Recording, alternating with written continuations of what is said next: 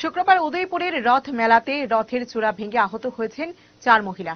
আহতদের উদ্ধার করে উদয়পুর গোমতী জেলা হাসপাতালে নিয়ে যাওয়া হয়। চারজন মহিলার আঘাত গুরুতর বলে জানা গেছে। তারা প্রত্যেকেই গোমতী জেলা হাসপাতালে শল্য বিভাগে চিকিৎসাধীন হয়েছেন। ঘটনায় গোটা মহকুমা জুড়ে ছড়ায় চাঞ্চল্য।